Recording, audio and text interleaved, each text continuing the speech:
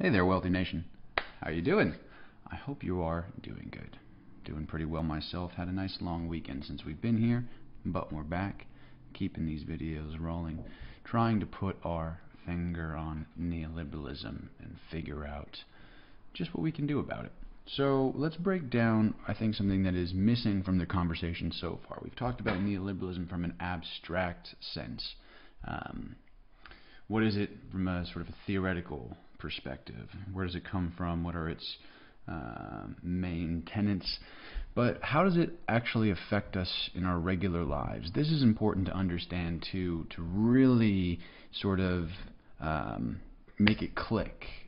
If it, if it hasn't yet, and even if you if it sort of makes sense, but it's difficult because neoliberalism seems to be a term that applies to everything and nothing. It really depends on kind of how you look at it. So hopefully this clears things up how neoliberalism affects our actual daily lives.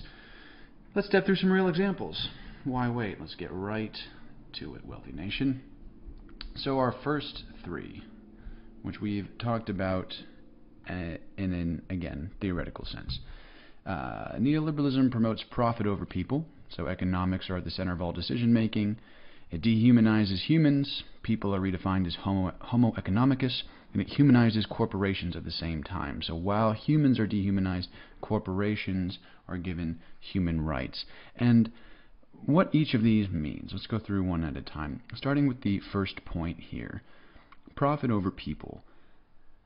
This is an underlying belief of neoliberal uh, policies, ideas, structures, organizations, and so on most evident in the work of Milton Friedman in his uh, Friedman's Doctrine, which was published in the New York Times in 1970. Uh, I mentioned him a lot. He's definitely not the only founding father of neoliberalism, so to speak. He is one of many, uh, but he is a he is a big one. He is he is uh, definitely not alone, but he is a lot. He is uh, he's a lot of at least in this country. So we talk about the Friedman doctrine for being profit over people, for bringing about that idea that business's only social responsibility is to increase its profits. That's the full title of his work. So, right there in the title, businesses are all about profits. No other social responsibility but money. So, profit over people. The second point here, dehumanizing humans, and this term homo economicus that term actually existed before neoliberalism. That that comes from an older school of economic thought, which uh, has humans as purely rational, utility maximizing consumers.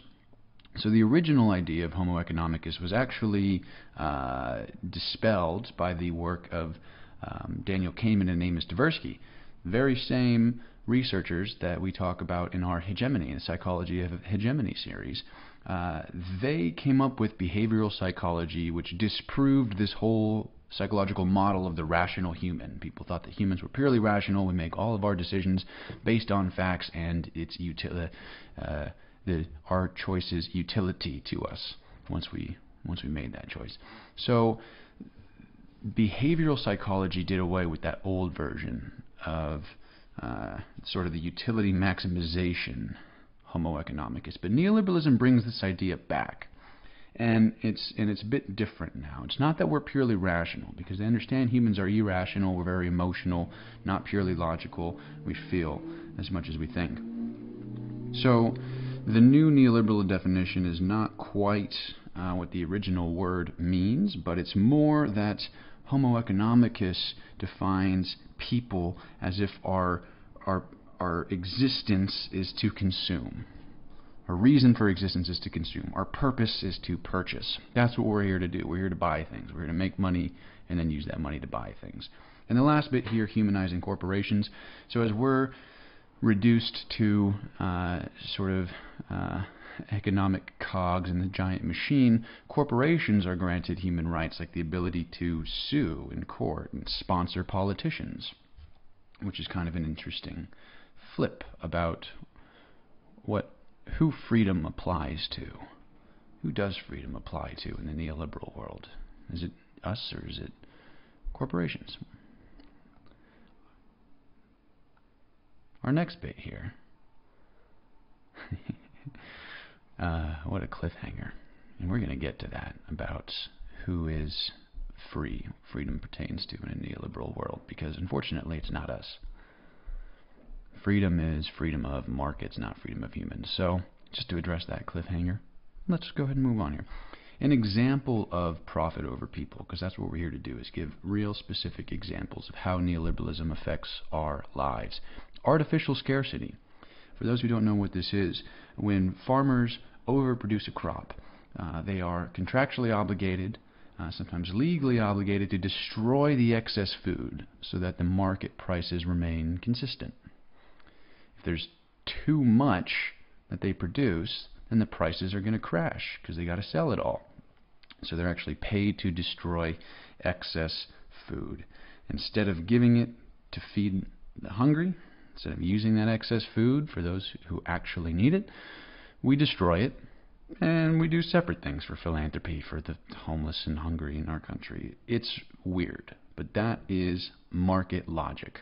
Market logic says we need to regulate the prices, so we'll destroy the excess food if that's what it takes. And it shifts all the costs, all the burden to the farmers. They're already planting and growing and harvesting as much as they can because yields are so thin, margins are so thin as it is. So when they overproduce, it's something that we as a society should celebrate and we should use that excess food. But instead, we're forced to destroy it so that the markets can continue to work their magic. So there's one, artificial scarcity. Uh, in terms of dehumanizing humans, if you think about what it means to be productive today, that word productivity means how much are you working? How much are you making and how much are you spending? Both at the national level and at the personal level. National level, we have GDP, and at the personal level, it's are you being productive? Have you worked today? Have you done something? Have you built something? Have you made some money? Our idea of productivity is now centered around how much we earn and how much we consume. That's neoliberalism. Third, with our humanizing corporations here, there's the political funding. So we mentioned that corporations have a right to fund politicians. Kind of strange when you think about it, when you think about what a government is meant to be. That we allow these corporations to fund not just candidates, but legislation. They lobby for the laws. These days, they pretty much write the laws. There have been a, a, handful of cases where the actual lobby group, the letterhead that they used to send it to their local politician, wasn't even taken off the document when the politician presented it to Congress. It's just copy paste from what the lobbyists say.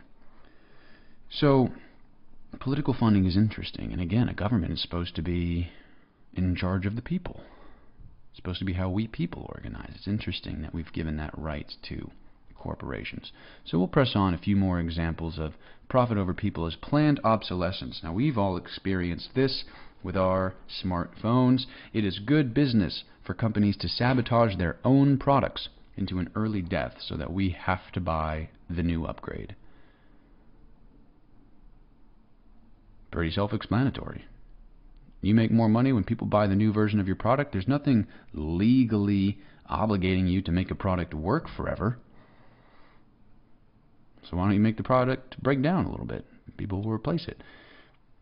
It's not just phones. Phones are an easy example because they can do it via software, so they can almost do it on command. Um, it's also things like uh, washing machines are a good example. Washing machines are just made from components now that break down easier. And I've had a washing machine break down several times, and the repairman will say to me, "Yeah, that old washing machines work forever. New ones, they figured out, they don't need to make it work forever. They need you to buy a new one."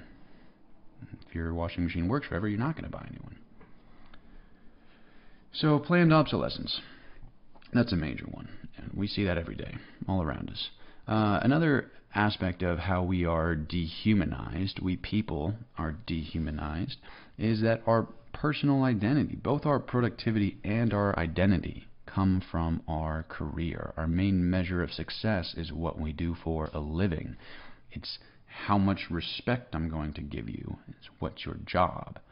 And that is another thing that people might say predates neoliberalism, but it's it's it's something that has gone off the rails with neoliberalism. Everything is about what you do for a living, and now also what are your side hustles? What are you doing on the side? Because making a living is not enough anymore. You need to sacrifice your free time in order to really get ahead.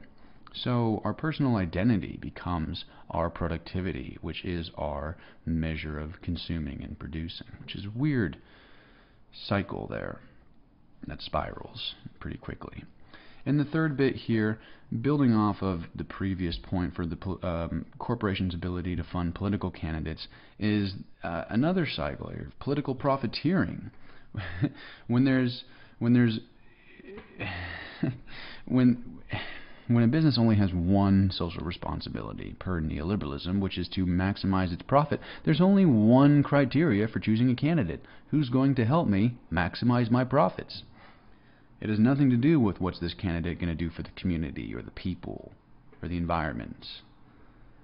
It's only about how that politician is going to help you increase your profit.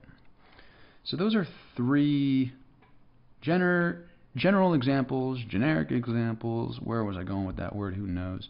Um, three general examples, uh, each with two sort of specific examples there. Let's press on a little bit because there's more to be said. Some more consequences of neoliberalism are this number four piece right here free market exploitation. Executives who are well educated.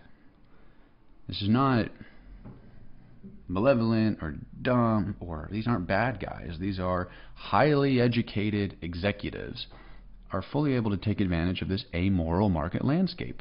The market doesn't have any morals, so as long as you're making money, you're doing good business. Number five, the illusion of choice. Mega corporations who are uninhibited by these pesky taxes are free to acquire their competitors and consolidate entire industries into single companies. So we're living in an age of monoliths right now, of monopolies and oligarchies um, in big tech and big pharma, uh, and consumer packaged goods space, all over, all over. So we have an illusion of choice that goes along with that. These brands are smart. When they acquire all the smaller companies, they don't just give us one homogenous, you know, brown paper bag of stuff. They, they give us our brands. They give us the illusion of choice. But when you're choosing between M&Ms and Skittles in that advertisement war, Mars is the one who wins no matter what. It's an illusion of choice. So that's number five. Number six is just a general lower quality of life. There are these big examples of how neoliberalism affects us, but really it chips away at our quality of life, and everything starts to suffer bit by bit as all of these industries sacrifice quality of their product and services for profits. Let's look at some examples of these. For the free market exploitation, an obvious example is the pharmaceutical space, specifically the uh, Pharma Bro, uh, Pharma Bro Martin Shkreli, who we talk about in a different video. And what's important to note about uh, Martin is that he was not alone. He drew a lot of attention to himself for doing it brazenly. He was very unapologetic, almost bragged about the fact that what he was doing was totally legal. He was just a smart businessman doing business. So he drew a lot of media attention to. Um, I'll explain uh, what he did. is important to know.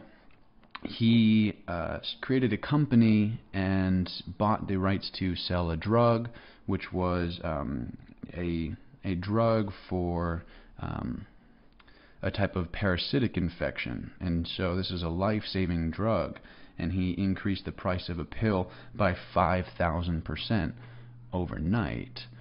And and it's per pill might not seem like a lot, but there were patients who were using this medicine that now had to pay hundreds of thousands of dollars a year just to stay alive. So just to stay alive, your life or death dependency on this medication is reduced to an inelastic demand. And that's what neoliberal markets think of us as humans. There is no morality in helping people survive.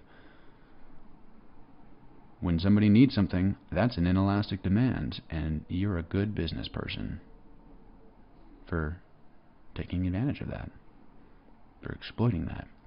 We call it capitalizing on the opportunity. Capitalizing. Get that capital, baby. So, there's one example. The free market opens the door wide for people to legally come in and do this. This is this is completely legal, but in my view, it's it's beyond manipulative. It is it's unethical. It's evil. It's dangerous to our society to have this practice because it's not just Martin. The drug that that Martin's company sold is called Daraprim.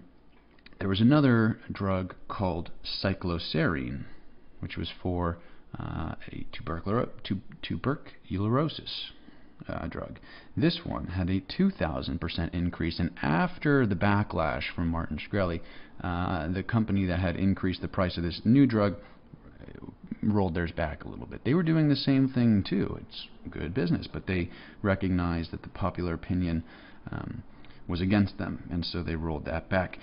Uh, this information comes from a New York Times article which I'll link in the notes. And uh, in that article, there are three other drugs who whose price were increased on the range between 200% and 500%, which means they doubled in cost or they quintupled in cost. Uh, and then there was another drug called doxycycline, which is an antibiotic, which increased from $20 a bottle to $1,849 a bottle, a 9,000% increase. So this is happening all over the industry because it's an opportunity. These are inelastic demands on these goods. And so a smart businessman sees that and makes money off of it. That's neoliberalism. Number five.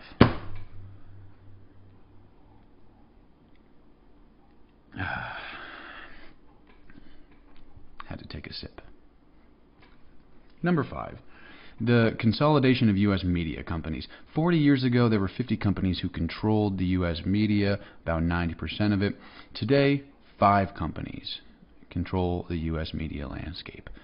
Five companies, five executives have control over everything that we see. And the, the source for this article, uh, which again I'll, I'll provide in the in the notes, uh, talks about six. There are six media companies in the United States. Since then, CBS and Viacom have re-merged, and so we're down to five.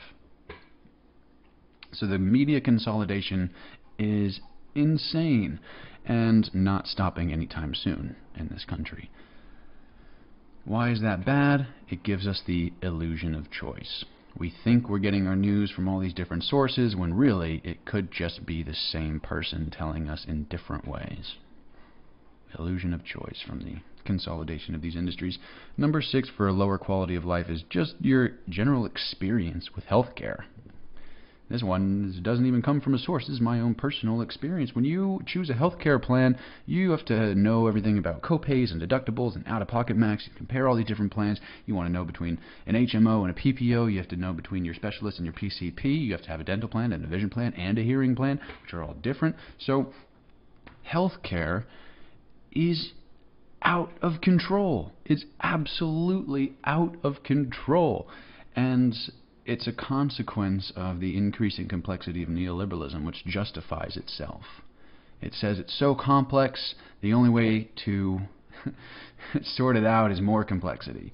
We need to add this thing on top to give us visibility, and this thing on top just adds a layer of reporting, and so now there's even more complexity, and there's even less visibility like we hoped. But we just got to let the market do its thing, it will work itself out. So healthcare has gone completely off the rails. And it's not just when you're choosing your plan, it's actually trying to book an appointment. It's trying to do these things. It's trying to go and you you show up at the doctor's office, you wait in the waiting room for 30 minutes, you see the doctor for 10 minutes. You pay him for those 10 minutes, then you drive over to the pharmacy and you got to pay them for the medicine. The doctor didn't give you the medicine, the pharmacist gives you the medicine.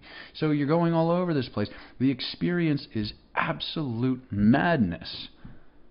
Why do we do this? Why do we do this to ourselves? So to press on, just in the final bit here. Don't want to get too long-winded. A final few examples for the free market exploitation is the Wells Fargo account fraud. This one's a little bit more recent. Uh, essentially, between the years of 2002 and 2016, millions of fraudulent accounts were created um, by Wells Fargo employees because they had to meet these impossible sales goals. That's a 14-year period where this is happening. And nobody questioned it enough to expose it until this uh, until a regulatory agency peeked in and saw what was happening. So this is a unique example because it's fraud. This is illegal. Uh, what I wanted to highlight really are the legal examples, what's allowed by neoliberalism uh, to um, take advantage of that free market. This is an illegal one. They got away with it for a while, but they had to pay a $3 billion settlement.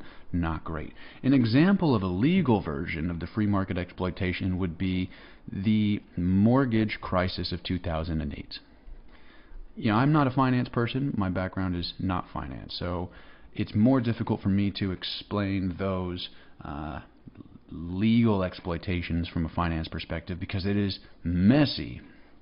You have loans and you have securitizations and you have all of these things.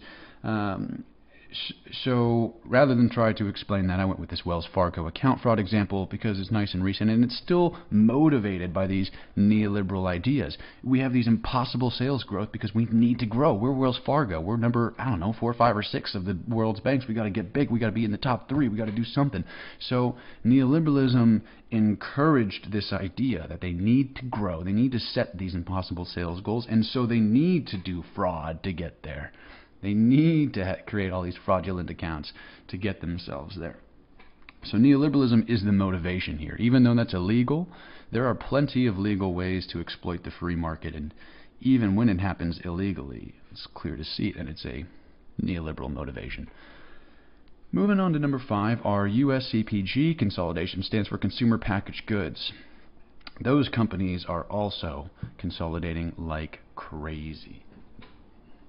Right now, there are about 11 companies who own well over a thousand brands, well over a thousand brands of consumer packaged goods, which is everything from our food to our clothes to our toys to our tobacco. Everything. Everything. So anything you go buy at the store in a package is a consumer packaged good. Uh, and and it's and it's really crazy to see how fast those are um, consolidating as well. I mentioned the uh, the Mars example when you're doing a Skittles versus M&M war. Mars is the is the big winner there. If you're doing a left Twix right Twix war, come on, come on. So maybe the last real rivalry here is Coke versus Pepsi. Those are two actual uh, companies that are at, at odds, and they do not like each other. Let me tell you. Yeah, from personal experience being in a Coke distribution warehouse, you do not want to make a joke about having a Pepsi vending machine there or anything like that they won't think it's funny. But in any case, back on track.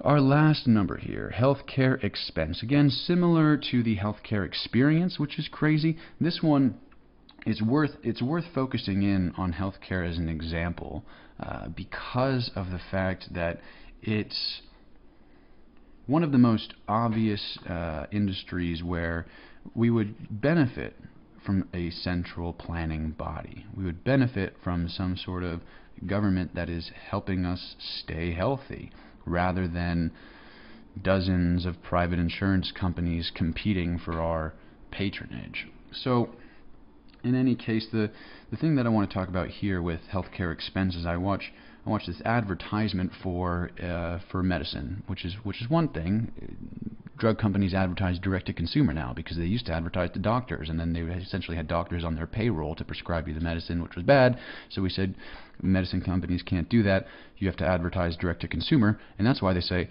talk to your doctor about this because they want you to ask the doctor since they can't do it anymore. So First of all, that's a little side tangent about why we're marketed to with these drugs. But I was watching one of these drug commercials, probably for anxiety, probably for depression, all of these things, and they go through um, the list of side effects, of which death is one. So uh, interesting.